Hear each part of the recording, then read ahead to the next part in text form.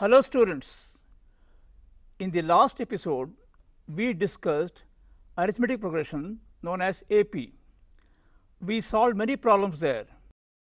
Somewhat similar progression is the next one which we are going to take it today and that is known as geometric progression. Look at this 1, 2, 4, 8. Can you get the next term? Yes, it is 16, then 32. What is happening here? Every term is double of the previous term. Similarly, this sequence,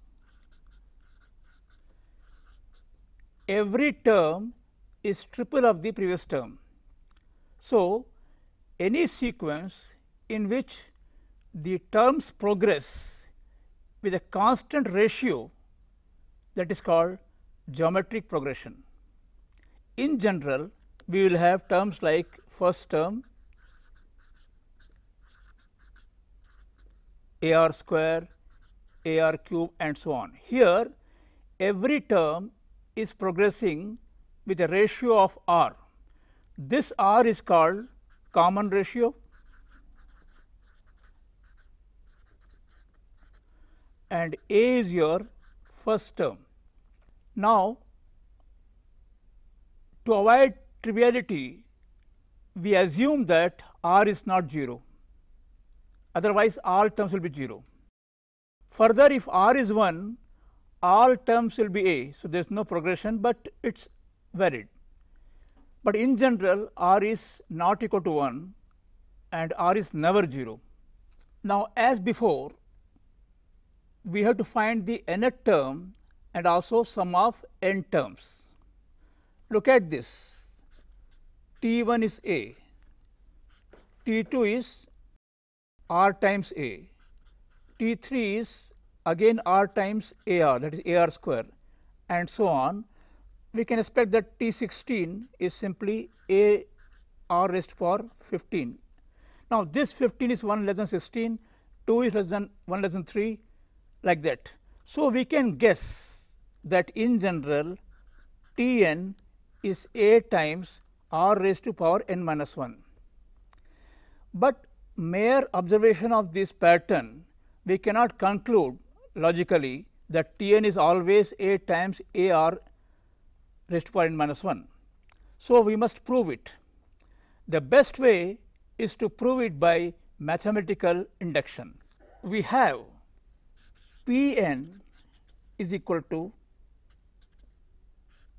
T n is A times R raised to power n minus 1.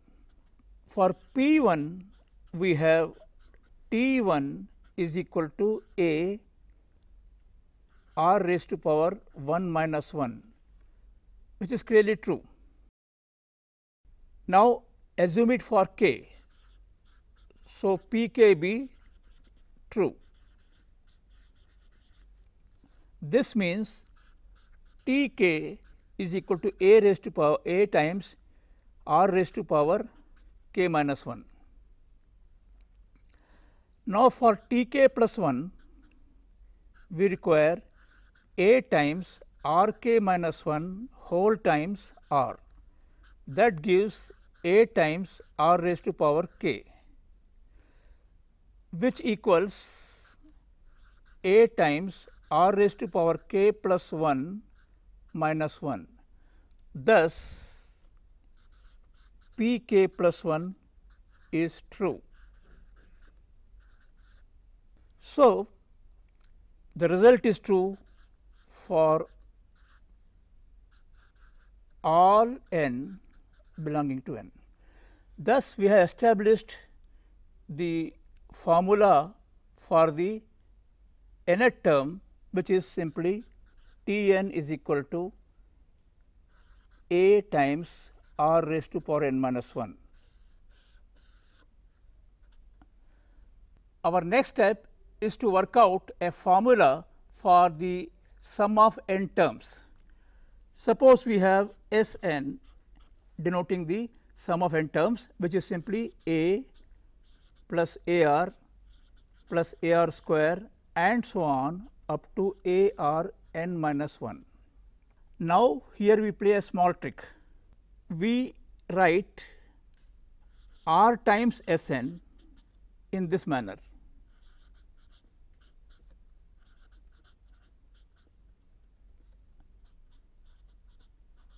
And now we subtract it. Here we get 1 minus r S n. The first term is a, from second up to nth term all terms get cancelled, we are left with only a r n. Thus, S n is equal to a common 1 minus r n upon 1 minus r. It can also be written as a times r n minus 1 upon r minus 1. So, we have two forms for S n. Usually, we use the first form when r is less than 1 and second form when r is more than 1, but both are correct in both cases. It is only matter of convenience. Now, with these two formulae, we can start solving any type of problems. Let us take a problem. Here the sum is given to be 819 for 3 terms. Also the product is given to be 531441. We are required to find the common ratio as well as the 3 terms. We can assume the terms to be A, AR, a r square as the normal case, but as a special case in this kind of problem we better use the terms as a upon r a and a r because definitely here the first term is a upon r and the common ratio is r. As per the given problem the sum that is a times 1 upon r plus 1 plus r equal to 819, while the product that is a upon r times a a r that is a cube is equal to 531441. So, we have a cube is equal to now this 531441 is actually 9 raised to power 6 which is equivalent to 81 cube. Now, this gives A is equal to 81. Having found A, now we go for value of R. We had the equation A times 1 plus R plus R square upon R is equal to 819. Here A is already found to be 81. So, we have 81 times 1 plus r plus r square equals 819 times r. We cancel out 9 from both sides. So, you have 9 plus 9 r plus 9 r square is equal to 91 r which eventually becomes 9 r square minus 82 r plus 9 equals 0. By splitting the middle term, we get 9 r square minus 81 r minus r plus 9 equals 0, which comes to be 9 r minus 1 times r minus 1 equal to 0 r minus 9 equal to 0. So, we have r is 1 by 9 or r is 9. This implies 9 r square minus 81 r minus r plus 9 equal to 0, which gives 9 r minus 1 times r minus 9 equal to 0. Eventually, it gives r is 1 by 9 or r is 9. First we take r is 9. We already know that a is 81. Our first term was remember it was a upon r. So, it is 81 upon 9 then 81 then 81 times 9. So, as for the value of r equal to 9 our sequence terms are 9, 81 and 729. But if you recall we had one more value of r namely r is 1 by 9. With that value of r we get the sequence as 729, 81 and 9. So, both are valid answers. So, we must write both the answers in the examination to get full marks. Now, we take another problem. If the fourth, 11th and 18th terms of a GP are x, y and z respectively, prove that x, y, z are also in GP. In any problem, we must look at the problem first whether A and B are A and R are given. If they are not given, resume it. Suppose first term is A and the common ratio is R. So, as per condition we have T 4 is A R cube, T 11 is equal to A R power 10 and T 18 is A R raised to power 17 and this is given to be x, y and z. We have to show that x, y, z are also in GP. To show that we require to show that y upon x is same as z upon y. So, now we have y upon x that is a r power 10 a r cube gives r 7. Also z upon y equals a r power 17 upon a r power 10 this gives r 7. Thus, we find that y upon x is equal to z upon y, it means x, y, z are in GP. We take one more type of problem.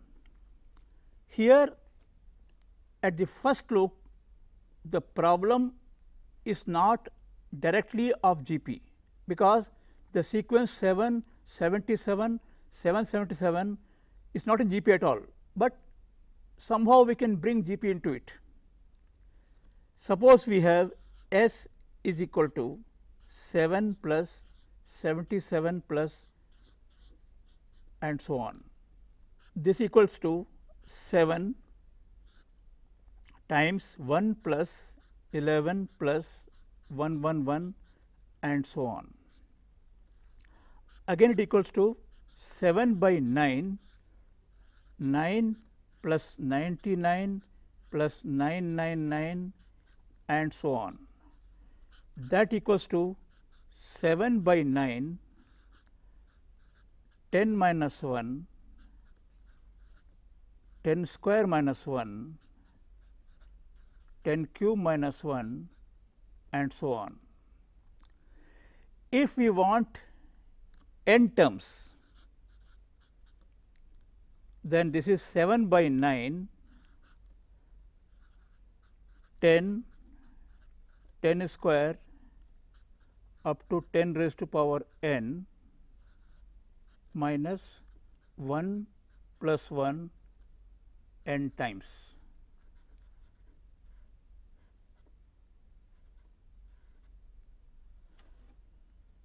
Now, look at this the given sequence not in GP, but a part of it is in GP. So, we get 7 by 9 10 raised to power n minus 1 upon 10 minus 1 times 10 minus 1 is coming n times. So, it is just n. This is 7 by 9 10 upon 9 10 power n minus 1 minus n. Finally, we get 70 upon 81 10 raised to power n minus 1 minus 7 by 9 as our result.